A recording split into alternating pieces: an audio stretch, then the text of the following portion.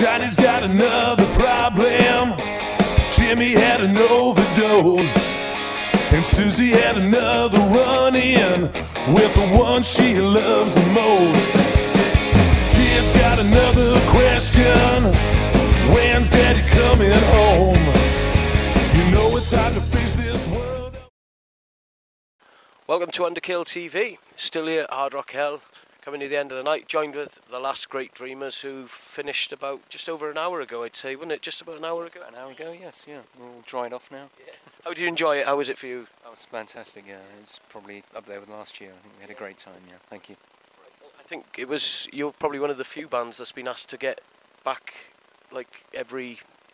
You've, you've done it this this particular AOR when You were here last year as well because you were on Well, tour. yeah, we did the main stage um, last year, pulled in short notice, and this year um, it was the fans that told us we were playing. We didn't even know. So not that we weren't paying attention, but uh, yeah, we were off in Spain, and um, everyone was saying, "Oh, we'll see you at HRH." AOR, and we go, oh no, maybe not, and then we, uh, yeah, turned out we were. So yeah, it's great, good. So, so literally, like th- that one, you ended up playing through notice from the fans. Like that's unbelievable. Yeah, I like to think that fan power counts, you know. So it's fantastic, you know.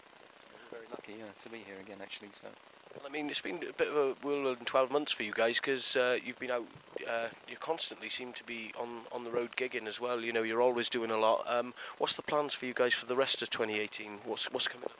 um, we've got uh, our next album out in four weeks now. I think the 12th of April it's out. 13th. Fucking hell. Friday the 13th. Very important, yeah. Something to do with the Knights Templars, but I can't go into that. And, and what's the title of the album then? For and 13th Floor Renegades, yeah.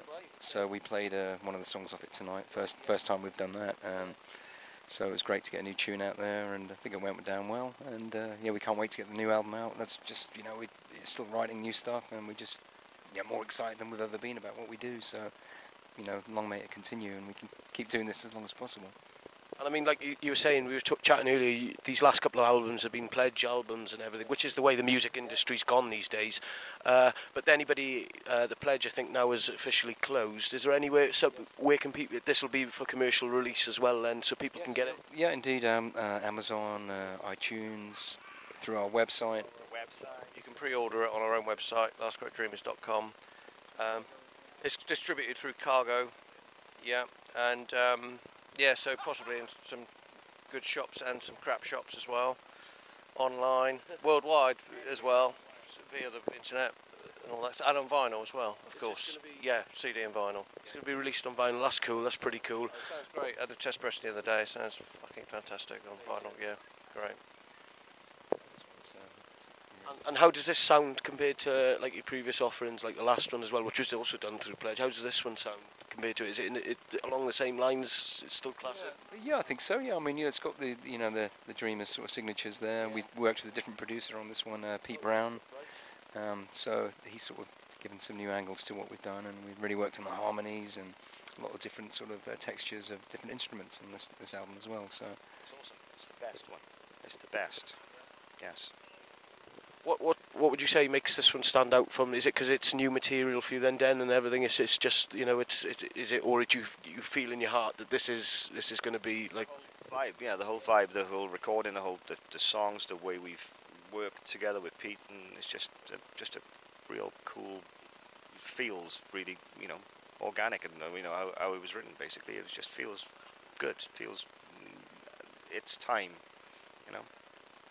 Now, the- you know, the way we record is the way we've always recorded. You know, we play live and, and get the tracks down, you know, in essence, you know, in, a, in the live room, and then sort of overdub stuff. I know that's di- it's different nowadays for other bands. And when we came back to it, hearing that people kind of overdub drums and do all sorts of weird stuff, but we kind of do it in a traditional way, really, still. And um, yeah, we spent a lot of time on vocal harmonies and, and guitar parts, and you know, it's yeah, it's, it's, it's been it was a great experience working with a you know great producer, and um, you know he's got the best out of us. You know, it was hard work and you know sort of tough at times, but uh, yeah, it's definitely our best work today. We feel, you know, hopefully the fans will feel the same. Yeah.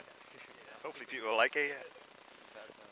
But um, for anybody then that wants to uh, that wants to get anything uh, and find out any up to date, you, you're quite active on social media and everything like that. So it's Facebook, Last Great Dreamers, is it on Facebook? Yes, Facebook. Uh, what else are we on? Twitter, Instagram, uh, YouTube. It's all down here. I can see it now. Com, Yeah. lastgreatdreamers.com. you know, people can get onto the our website and leave their mailing details as well, so we keep in touch through email and all that sort of thing. And uh, yeah, we just do what we can to, to, to, to build it and get in touch with people and keep in touch. But I think Facebook's probably the big, the biggest thing for us, really. You know, Um, chat. Dan still writes what ten letters a week personally. Yes, pen pals. I've got lots of pen pals around the country. He sent out hundreds and hundreds, but no one's got No back. no Please, got back. somebody write back to this guy.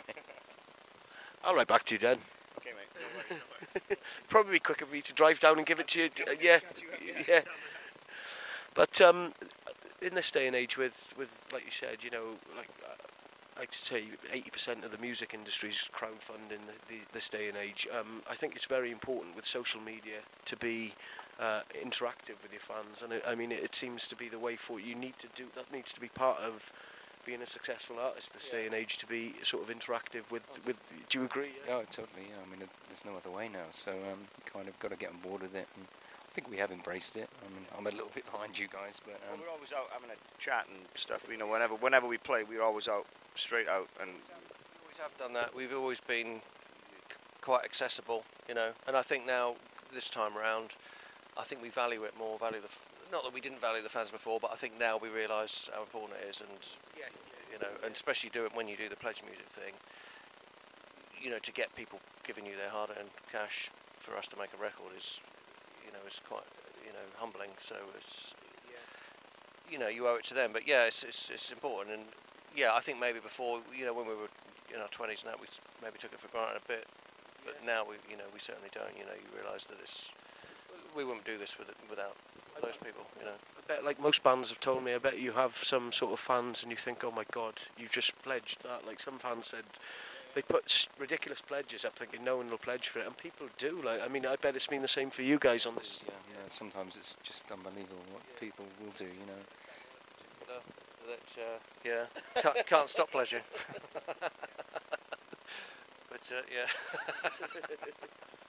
But I mean, I think it's great, and it, it's great to see you guys, you know, carrying on classic sort of good time rock and roll out there. I mean, like you said, you, you want to get off because I know you want to go and watch the Quireboys. Likewise as well, you, you you're not a you, I mean the, the friends of yours. You've been on tour with them, uh, and the music isn't a million miles away from from each other's bands. Like, and it's all good time rock and roll. So.